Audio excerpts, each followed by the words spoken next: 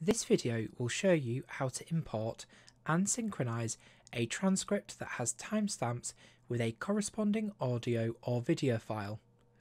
As you can see, I have two interview files open in detail view for Helen. One is her transcript and the other is the audio recording. I can of course code these separately, but it would be nice to be able to synchronize the transcript with the audio so I can work on them together.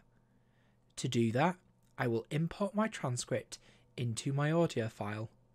First, I click Edit at the top of Helen's transcript. I can now see and click where it says Import Rows in the ribbon. Browse to where the transcript is saved on the computer and select it for import.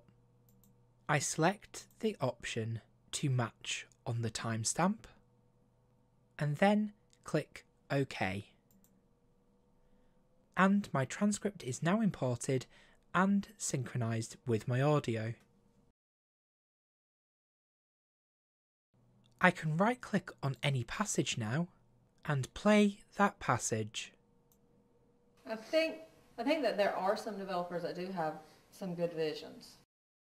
This enables me to simultaneously listen and read passages of Helen's interview.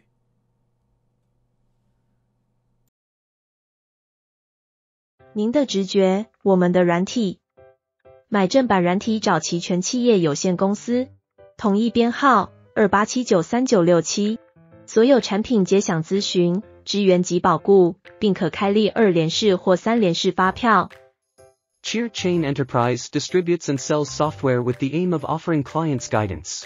When choosing software, as well as technical support,